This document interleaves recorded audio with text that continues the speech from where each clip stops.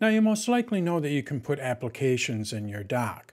But did you also know that you could add folders to your dock? And not only can you add folders, you can set how they are displayed when in the dock, how the contents are displayed, as well as how they are sorted. Let's take a look at how we add folders to our dock on the Mac. Now, as I mentioned in the introduction, we all know that we can place our favorite apps here in the dock. All we have to do is just drag and drop them in there, and then we have easy access to them. But if we look at the dock over on the right, you're going to see that we have this folder here. This is a downloads folder. It's installed by Apple when you first open up your Mac. What we can do is we can place other folders in the same area so we have easy access to them, just like we do with apps. Now what you need to do is you need to make sure that when you install folders, which I'll show you how you do this shortly, what you need to do is make sure that it is over to the right of this vertical line. This vertical line here separates apps from your folders.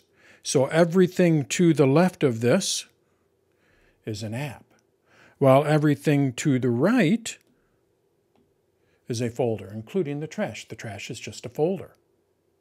So what we need to do is we need to make sure that we install any folders over here in this area here.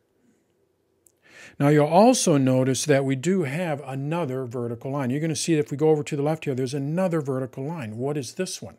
Well, this one is separating our favorite apps, so these always show, from our recent apps. These will change depending on which apps you recently opened. So how does that play into our folders? Well, we just need to make sure that we're going over to this vertical line here to the right of our recent apps. Now, if you're not showing your recent apps, you can turn this on and off over here. You can turn this off in system settings. You may not have this second vertical line. So what we're going to focus on is everything to the left of the trash. There's that vertical line there. That's what we're going to focus on, this area here. This is where we can place folders. So now, how do we add folders? Well, just like with apps, all we have to do is just drag and drop. If we go over to my desktop here, you're going to see that I have this work folder here. What I would like to do is add this to the dock. All I do is just click and drag, and I place it to the right of that vertical line, and you're going to see that the dock actually makes space for it. And I can place it anywhere I want. You want to make sure you don't drag it into the trash or drag it into another folder. You could do that as well. We don't want to do that. What we want to do is just place it right down here where the dock makes space for it. And when I let go, that folder now is in the dock. So what does this do for me? Why would I add a folder to the dock? Well, when we click on it, we can easily see the content. So now all I need to do is just click on this folder here, and I can see the contents of that folder. So we have easy access to the folder no matter what app we are in. Now, in addition to that, what we're able to do is set how the folder shows in the dock. If we go take a look at our two folders here, you're going to see that one is a folder, the downloads folder. It's just a folder. But if we look at this one here, it's a stack. It's actually stacking a couple of different folders along with a document. What we can do is we can set if we want to show it as a stack or a folder. To do that, all you do is just control click on it. So I hold down the control key and I click. We have to get to our contextual menu. So I hold down the control key and click. And you're going to see we have a number of options. To change how it is displayed, we just go to display as, and then we set if we want it to be a folder or a stack. So when I go and select folder here, we can see it is now a folder. Let's go and change my downloads to a stack. I control click on it, and then we go over to display as stack. And now we can see it's a stack of documents that is in that folder. Now, in addition to changing how it is shown in the dock, we can also set how the contents are displayed when we click on it. When we click on this folder here, we get a fan. And then when we click on this folder here, we get a grid. We actually have three different views that we can show our contents with. To change the view, all we do is just control click on it again, and then you're going to see view content as. and we can select fan, grid, or list. Now, why would I want to change the view? Well, when we go over to list here, let's just take a look at this folder here. I have a few items in this folder. So I'm going to go with the list here.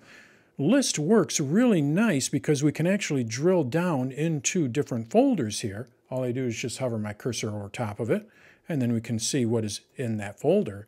But the problem with the list is when you have a lot of items in it, you have to scroll. So you may not want to use list when you have a lot of items in it. But when you have a few items in it, let's go over to work here. I don't have a lot of items in here. What I may want to do is change this one to a list. And now we can see a nice list here, and I can drill down into those different folders. With grid view, as we saw, what it does is it just shows us a grid of what is in that folder. And when we click on a folder here, what it'll do is it'll open up that folder into a grid. So we can go into a folder with the grid view.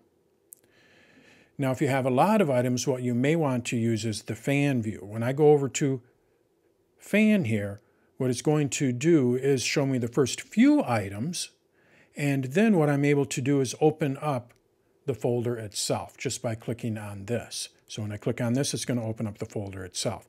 This is great when you have a lot of items in your folder. Now there's one other setting for this. You can have the Mac decide if you want it to change the view for you automatically depending on the number of items. All you have to do is just control click on it again and then you're going to see automatic. Click on automatic and now depending on how many items are in there it'll change the view for you. Now we can also set how the content is sorted when we click on the folder in the dock. When we go back over to my work folder here, when I click on it, it is sorted by name. Now what I would like to do is change this to sorted by kind. So then it groups all of my folders together, groups all of my PDFs together. In order to do that, all we have to do is just control click on it again, and then you're going to see sort by. And from here, what I'm able to do is change to date added, date modified, date created, or kind. So let's go with kind here. And now when I click on this, we can see it grouped all of my folders together and it grouped all of my PDFs together. So it's grouping my documents together by kind. When we go over to the Downloads folder, by default, this one is sorted by when the files were added.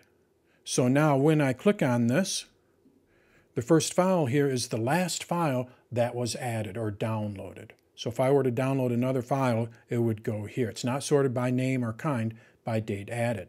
Now with the downloads folder, what I like to do is I actually like to have this as a fan because I tend to get a lot of items in my downloads folder.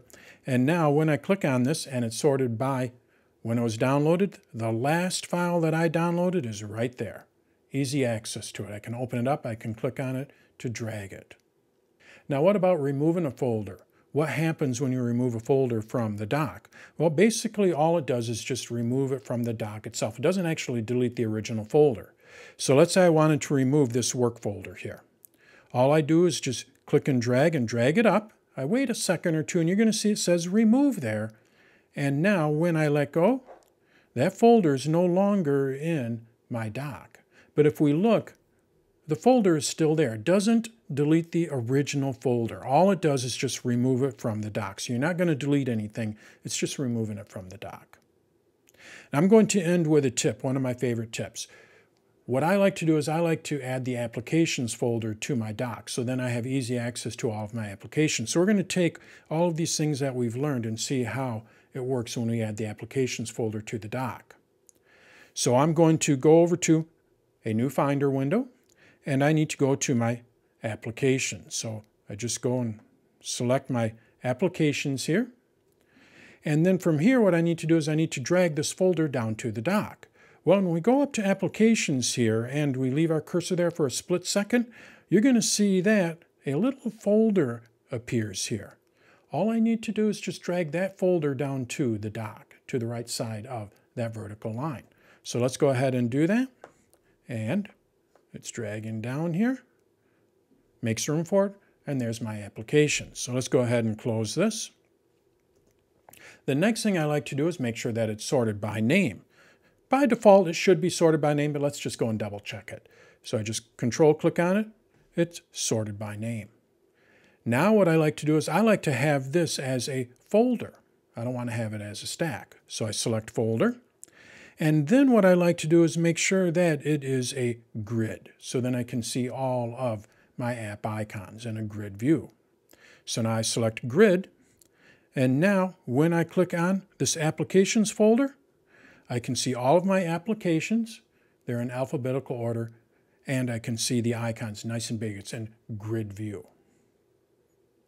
So that is how we can add folders to our dock on the Mac, as well as how we can change how they are viewed in the dock, how the contents are displayed, as well as how they are sorted.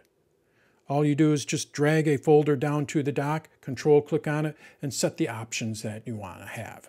So that is how you can add folders to the dock on the Mac.